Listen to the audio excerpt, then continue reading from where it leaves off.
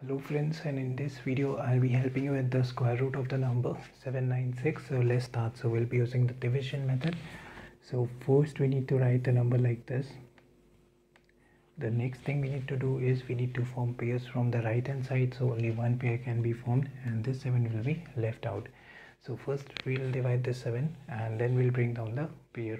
The rule is whatever number we write here we have to write here also so if we write 2 here and 2 here it will be 4 if we write 3 here and 3 here it will be 9 9 we cannot use because it is greater than 7 so we have to use this 4 so 2 here and 2 here it will be 4 subtract it and 3 will be left. Now we did 2 into 2 right? So do 2 plus 2 it will be 4 and keep one digit extra. And this number we need to make it big so that we can divide. So bring the next pair down until it become as 396 now whatever number we write here we have to write here also. So if we try with 8 48 into 8 times it will be 384 that is good to take. So 8 here and 8 here it will be 384 and on subtracting 12 will be left. Now 48 into 8 we did so add both. So 48 plus 8 will be 56 and one digit extra. And this number we need to make it big but we don't have more pair over here. So we'll put decimal. Once we put decimal we can bring down pair of zeros and number will become as 1200 now we can try two times. So 562 into 2 will be 1124 that is good to take. So 2 here and 2 here. 1124 subtract it.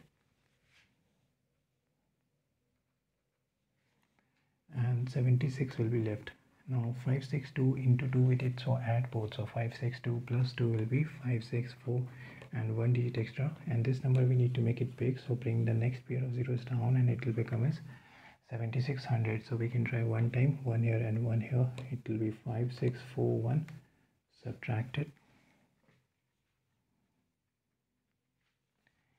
and 1959 will be left. Now 5641 into 1 we did so add both so 5641 plus 1 will be 5642 and one digit extra and this number we need to make it big.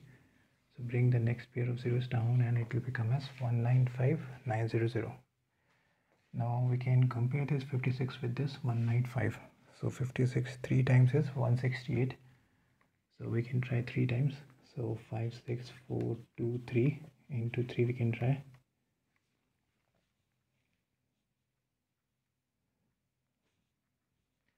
56423 into 3 it will be 169269 that is good to take. So 3 here and 3 here. But we don't need to calculate because we got the answer correct up to 3 decimal places. So square root of 796 will be 28.213 and that would be the answer. So this is all. If you found the video helpful please do the like button. Do consider subscribing and thanks for watching